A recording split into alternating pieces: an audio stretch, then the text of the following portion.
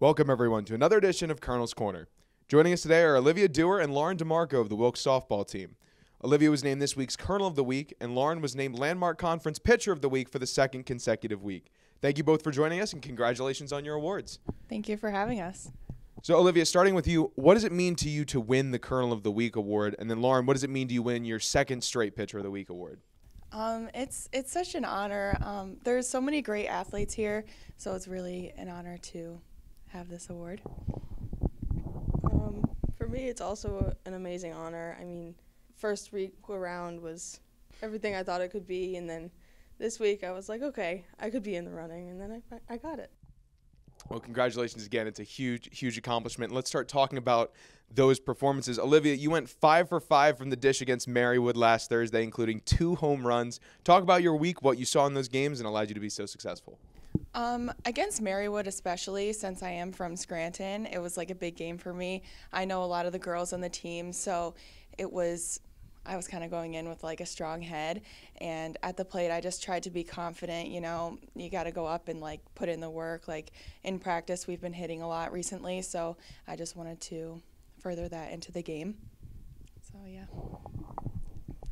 Um, I do know that we believe split with Marywood last year, so going into it, I felt good in warm ups, and I was like, okay, we're gonna have a day today, and I did. So worked out.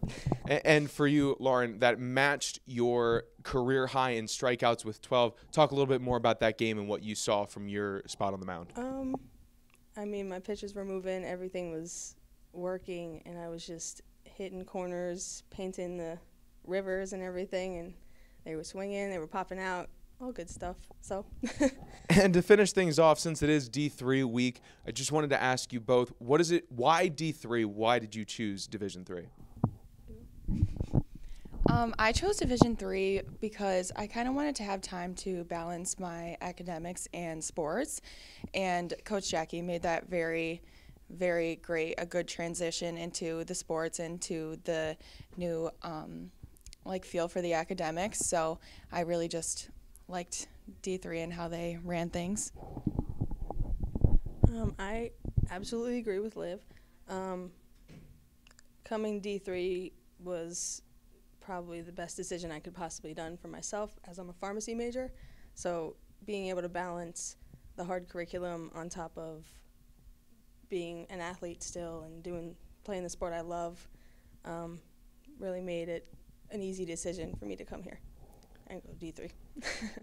well, clearly it's a great decision for not only yourselves, but the Wilkes softball team. Congratulations to both of you on your awards this week, and best of luck on the rest of the season. Thank, Thank you so much.